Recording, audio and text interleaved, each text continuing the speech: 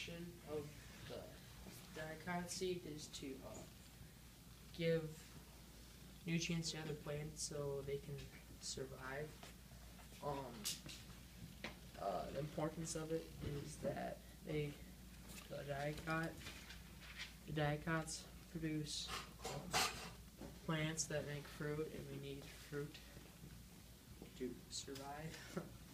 um, the parts of the dicot seed is the seed coat, embryo, and the s- food storage.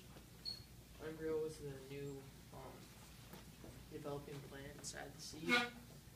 Uh, the difference, the differences between um, monocots and dicot seeds are uh, monocots have one kind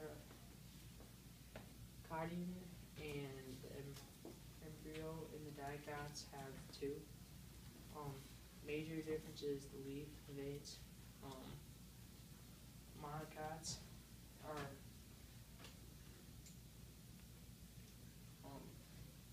um, are parallel and dicots are vertical.